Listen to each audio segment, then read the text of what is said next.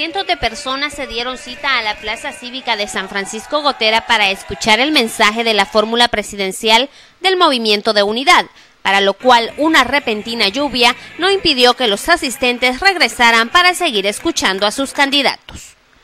Hemos tenido una concentración multitudinaria, a pesar de la tormenta enorme que nos cayó, nos mojamos, pero estamos felices de haber recibido a la gente de Morazán, que vino a observar las palabras de Pancho Laínez y de Tony Saca, que vino a apoyar al movimiento Unidad, que día con día va creciendo y le va generando más y más entusiasmo a los salvadoreños. Y aquí no estamos viniendo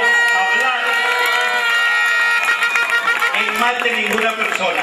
Aquí estamos viniendo a decirles que hay dos salvadoreños con experiencia, capacidad y que están listos para gobernar este país.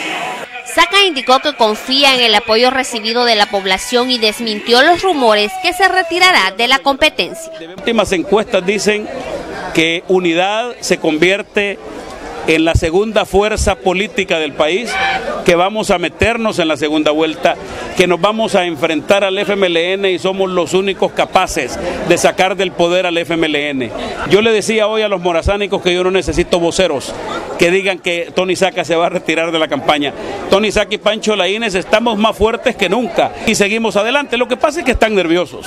Yo veo a la gente, a, los candidatos de Arena muy nerviosos, a los candidatos del FMLN muy nerviosos porque Unidad tiene toda la posibilidad de ganar esta elección y vamos para la segunda vuelta.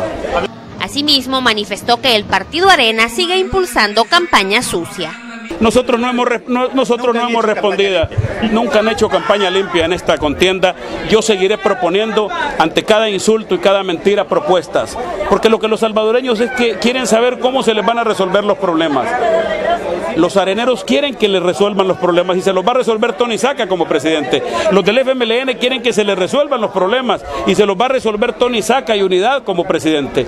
Yo el mensaje que le mando a todos los eh, morazánicos y a todos los salvadoreños es que sigamos adelante, que estamos a punto de llegar a casa presidencial y a salvar a este país.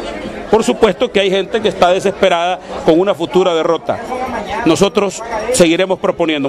Durante el acto político, Víctor Medrano, ex dirigente departamental de Arena, mostró su apoyo al movimiento de unidad, mientras que Saca reafirmó su compromiso de darle continuidad a los programas sociales que implementó durante su gobierno, además de otros proyectos que garanticen el empleo, la seguridad y la productividad del país. Con imágenes de Manuel Mejía, Jessica Orellana, Sol TV Noticias.